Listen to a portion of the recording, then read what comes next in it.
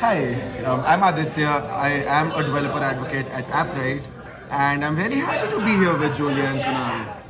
So, if I have to talk about developer relations or DevRel, um, DevRel acts as a bridge between the community and the product that the community operates around. And um, people in dev advocacy, developer relations, developer evangelism, all of these are very different subsets of DevRel, uh, which is an umbrella in my opinion. Um, they're all there to help out people in different ways. Now, the most common ways uh, that you know DevRel teams help people around are, are well, there are three of these, um, or as I like to call them, the three C's uh, and that are code, content, and community. Now, code here, of course, is going to be an important part because in, as, as someone in DevRel, you're going to be involved uh, helping another person build with your product, right? So for that, you need to be qualified and comfortable to build with your own product. And uh, whether that includes working with sample applications, adding new integrations, uh, maybe, you know, providing technical support from time to time, documentation. Yes. We'll actually get to that just in a second as well. Um, you you do, need to be comfortable with code or, or tech in general.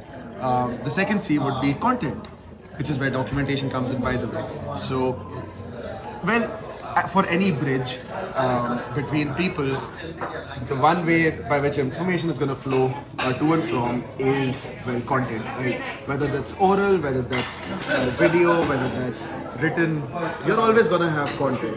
Um, so DevRel teams do work on content substantially.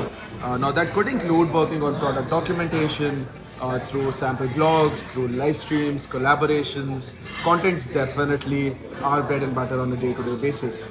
The third, uh, in my opinion, the most important is the community. In DevRel, you are serving the community, right? You're working for them. You're there to help ensure that they are the ones who have the least amount of friction with your product. So you could be involved on different community initiatives, developing new programs, um, just out there helping, uh, communicating with them, so on and so forth. But community is gonna be the most important aspect regardless. So yeah, those are the three C's of DevRel. And uh, as a you know, as a dev, as a developer advocate, Yeah. um, what do you think about um, the wings that you're having? yeah. They're very good. hmm Yeah, you can see that. Delicious.